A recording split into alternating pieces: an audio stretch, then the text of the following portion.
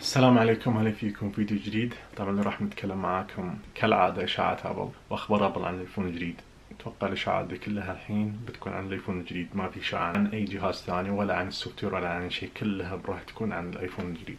من الإشاعات برضو كنت أفكر أنا وحطيت يعني احتمالات أتوقع لو تسويها Apple تكون ممتازة. بس قبل ما نبدأ راح أتكلم معاكم عن شيء تكلمت عن وحطيته في القناه برضو رفعت post حق صورة صورت فيها كروت ال iTunes. شريت كروت iTunes ب 30 دولار لما نشوف ثلاث كروت.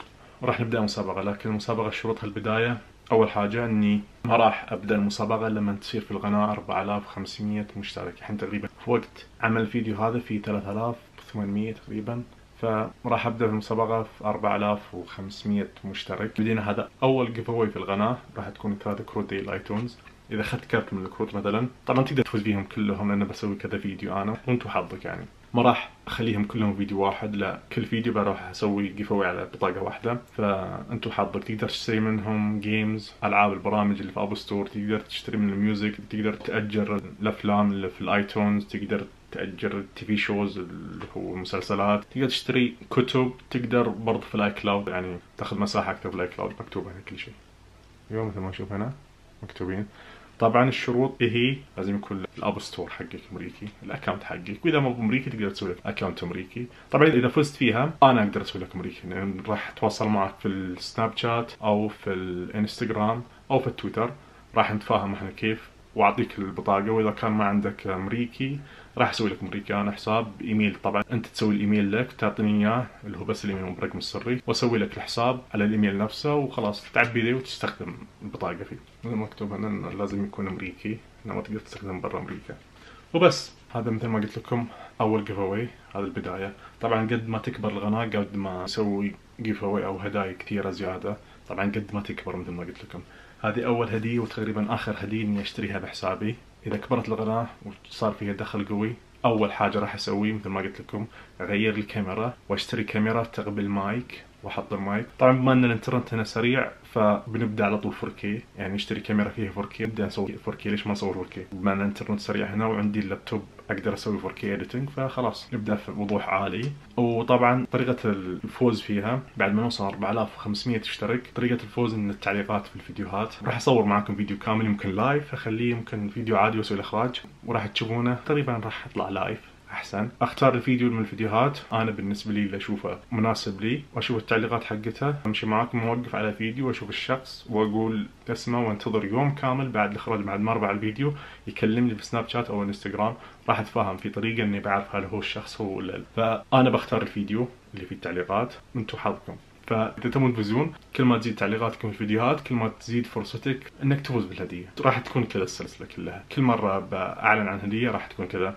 ان بخش في الفيديوهات وأشوف شخص تعليق وقف عليه واختاره. طبعا ما بترسل ألف وكذا لا تعليق عادل. وبس فخلونا نبدأ الحين الفيديو. أتوقع طولت معاكم عن السوالف. فنبدأ الحين فيديو اشاعات ابل راح نتكلم الحين عن التسريبات حق ال iPhone الجديد. طبعا التسريبات الحين الان صايرة قوي على الخلفية حق ال iPhone. فالخلفية اللي بتكلم عنها انه بتكون قطعة كاملة قزاز. هي المشكلة إنه في ال iPhone 10 S وال10 S Max وال10 R وبرضه ال8 تقريبا. غالي تغيير القطعة الخلفية. ليش؟ لأن القطعة الخلفية ما تكون قطعة كاملة. لا تكون الكاميرا لحالها والقزاز اللي ورا لحالها. المشكلة إني حاط ال skin فما راح تشوفونه هنا.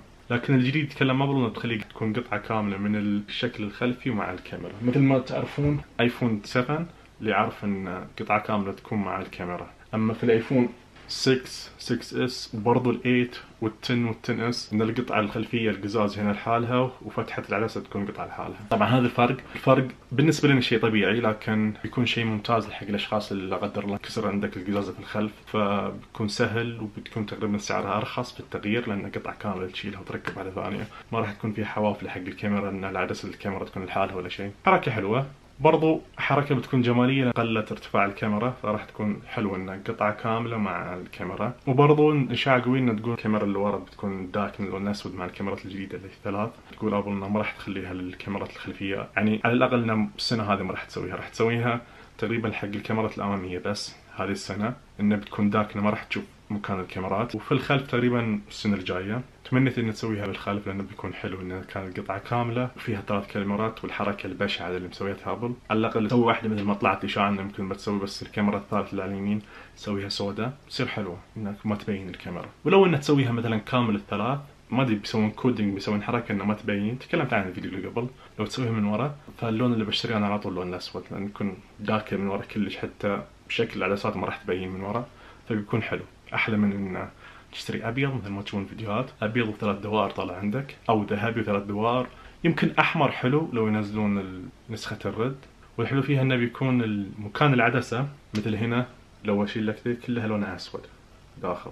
مع العدسه لكن في الجديد لا راح يكون الحواف والجوانب دي بيكون لون الجهاز نفسه لكن بس دائرة حق الكاميرا. مثل ما نقول إنارة السيارة مثلا. بعضهم يكون مثل يسمونها تقريبا عندنا المنطقة في السعودية مكحلة. إن الإضاءة بس اللون الأبيض مثلا درمدارها يكون باللون الأسود مثلا. فحلو تصير. فاللون الأسود أو إنه يكون على لون الجهاز. يعني جهازك أبيض برضو درمدار العدسة بيكون اللون الأبيض فقط العدسة اللي بيكون لونها الأسود. ما أدري إيش بيسوون ابل لكن حركة حلوة. فكرت فيها ان ابل إذا خلت الايفون القوي كان أول كاميرتين والايفون المنخفض يكون كاميرا واحدة مثل ال seven كاميرا واحدة 7 Plus كاميرتين. الايفون 10 كاميرتين والايفون 8 كاميرا. الايفون 10 S وال 10 S Max كاميرتين. الايفون R كاميرا. فالإشاعات الجديدة انه بيكون الايفون الرائد حق السنة هذه اللي هو مثلا 10 S فبيكون ال 11 بيكون ثلاث كاميرات وال 11 Max مثلا ثلاث كاميرات. ال R اللي هو كان كاميرا راح يكون كاميرتين. فنسوي معاكم الحركة الحين مثلا. إذا كان هذا الجهاز ثلاث كاميرات السنة هذه وهذا مثلا ال R نقول كاميرتين بيخلونه وهو منخفض السعر. فقبل السنوات اللي راحت كان الجهاز عندها كاميرا والجهاز عندها كاميرتين. فالحين بيكون عندها جهاز ثلاث كاميرات وجهاز كاميرتين. فبيكون في قابل حق جهاز كاميرا واحدة. ليش؟ لأن ما في كثير من الناس يحتاجون الكاميرتين أو حتى ثلاث كاميرات. يعني الكاميرتين في ناس إلى الآن يستخدمون ال R يقول لك okay كاميرا بصور فيها بس ليش؟ ليش أبي حق ال zoom؟ لأن في الايفون 7 Plus الكاميرا الثانية اللي حق ال zoom ال 2 X مثل ما نشوف. أي كاميرا تفتح الآيفونات اللي فيهم كاميرتين راح نشوف هنا 2 X نضغط عليها تقدم مثل ما نشوف. راح أعلمكم إن هي تشتغل الكاميرا الثانية. إذا كان عندك اضاءه قويه تشتغل الكاميرا الثانية. راح أسكر على الكاميرا.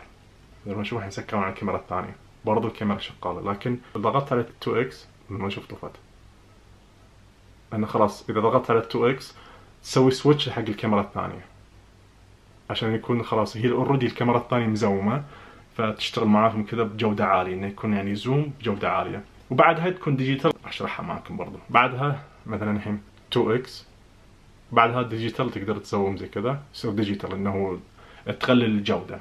مثلها مثل الكاميرا العادية حق 10 R انه على طول ما فيها 2 X انه كاميرا واحدة بس بيكون ال zoom digital بيقل جودة الفيديو وجوده الصورة برضو. فإذا كان في الآيفون الجديد ثلاث كاميرات راح يكون فيها ال zoom وهنا بس 2 X أو ال 5 X مثلا. واحدة ال wide angle الواسعة واحدة الكاميرا العادية اللي لازم تكون موجودة.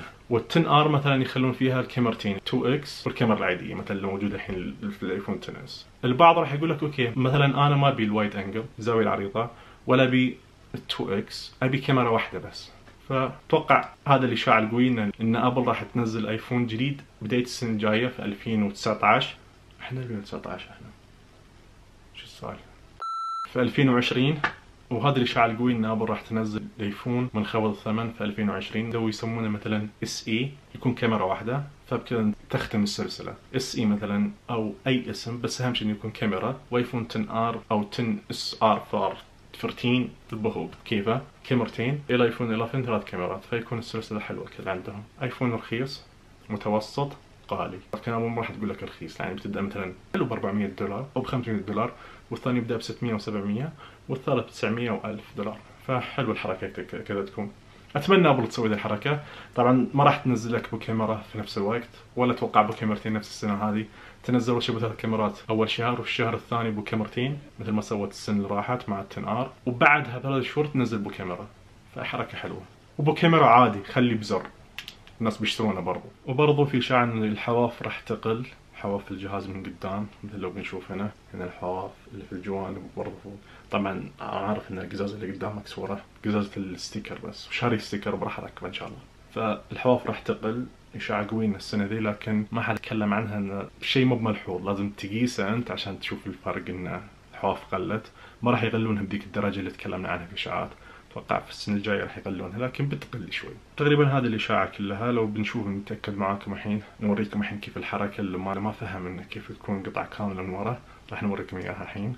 لكن قبل ما نوريكم إياها ننتقل معاكم على ال mute. الإشاعة القوية إن آبل برضو في الآيفون الجديد اللي بينزل دي السنة بيغيرون مدخل ال silent أو طريقة عمل السايلنت في الجهاز. مثل ما نعرف الآيفونات كلهم من صنع الايفون 2G من 2007 إلى الآن في 2019 أو نقول 2018 إن آخر آيفون نزل 2018 إن ال silent راح يكون كذا يعني يمين ليسار لكن الإشاعة القوية إن آبل تخليه من فوق لتحت.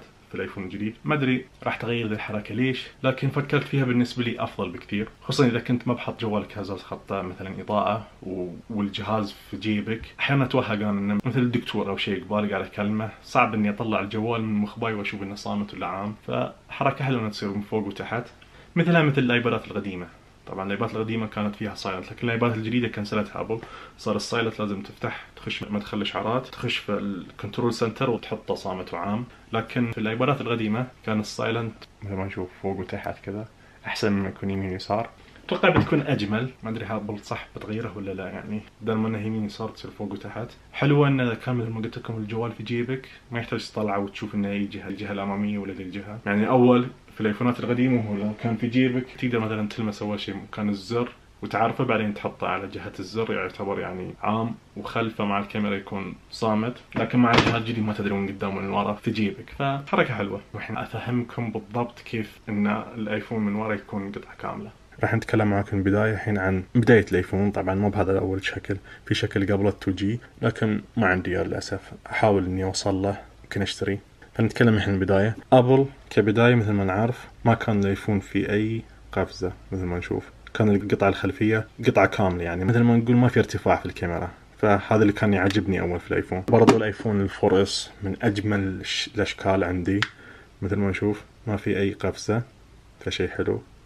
الايفون ال 5C برضو ما في اي قفزة وجينا الايفون SE برضو ما في اي قفزة.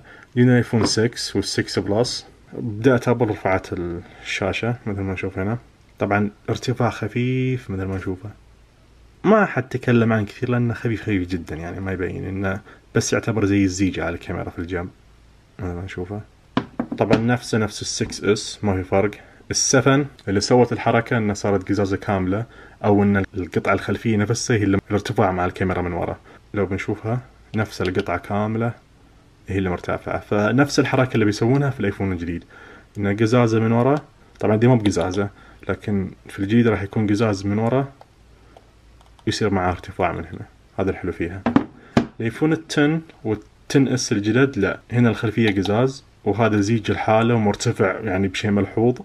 فتحس إنه حاطين القزازة بعدين حطوا العدسه فوقها. نفس نفس حركة الأيفون 6 وال6 S بعدين غيروها هنا ورجعوا فيها هنا والحين إن شاء الله يرجعون يحطونها كذا. يعني الحركة نمشي نجينا هنا. نقزنا هنا رجعنا مرة ثانية هنا الحين نروح هنا مرة ثانية. فنفس الحركة ذي. وبس في نهاية الفيديو لا تنسون الاشتراك في القناة. ونشر المقطع تعليقاتكم تحت هنا يمكن أختار ذا الفيديو بعد ما توصل 4500 مشترك في القناة يمكن أختار تعليقات ذا الفيديو. وانت حظك يعني. فتقدر تعلق الفيديوهات القديمة تسوي لايك وتنشر المقطع عشان توصل 4500 ومشترك وأبدأ في الهدايا. فلا تنسون تعليقاتكم تحت تهمني ونشر المقطع عشان نوصل بسرعة. 4500 مشترك 4500 الف مشترك. الله كريم دي توصل. وبس السلام عليكم. أوه نسيت أقول كل مرة بقولها بس ما أنسى أنسى أقولها. أه شغل زر أه زر هذا يسمونه ولا الجرس لحق الإشعارات. إن إذا نزلت شيء في القناة يجيك إشعار عشان تشوفه على طول.